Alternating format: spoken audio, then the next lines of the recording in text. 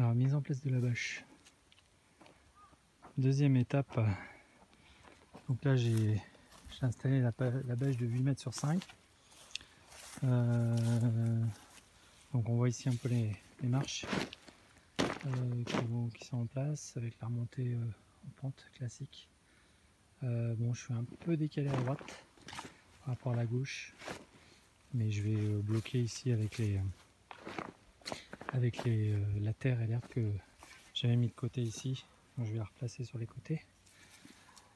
voilà, donc pas évident. je me suis mis dedans, j'ai essayé de mettre au maximum. Donc là je vais mettre un peu de, peu de terre au fond. Et puis, euh, puis après avoir mis de la terre, euh, je vais caler un peu euh, les bords.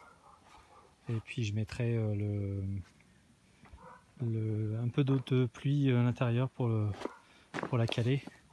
Et je fixerai les bords en dernier. Voilà. Allez, à tout à l'heure.